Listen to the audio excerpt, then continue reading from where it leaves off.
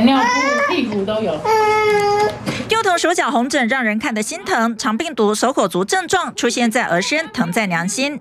还有妈妈怀着第二胎，但是老大感染了肠病毒，爸爸赶紧带着就医住院治疗，避免孕妇感染。爸爸带着小朋友来，警觉性的看到有水泡的状况，那小朋友身上也一直流口水，吃不下东西的状况。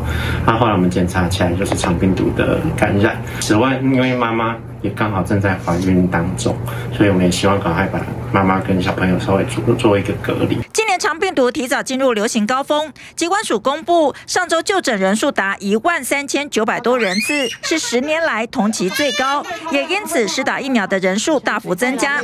肠病毒疫苗一剂四千三百元，打了第一剂之后隔两个月要再打第二剂。如果是两岁以下幼童，一年之后追加第三剂，保护期持续到六岁。上个礼拜的确我们有一度就是没有供货不及的状况，但是其实厂商也都表示可以稳定供货了。这星期台中是因为肠病毒停课的幼儿园有十七班，还有五家托婴中心。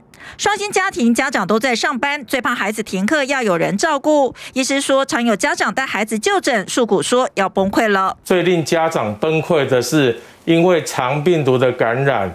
而造成小朋友必须要停课一个星期，家长必须因此而请假在家里照顾小朋友。最近因为发烧就诊的幼童有一半是肠病毒，医师提醒六岁以下幼儿在家隔离要特别观察有没有出现重症前兆，也就是嗜睡、活力不佳、食欲不好、肌抽药、呕吐、呼吸急促、心跳加快等症状，这是重症的前兆，要尽快送医治疗。TBS 新闻陈淑贤、吴淑平台中报道。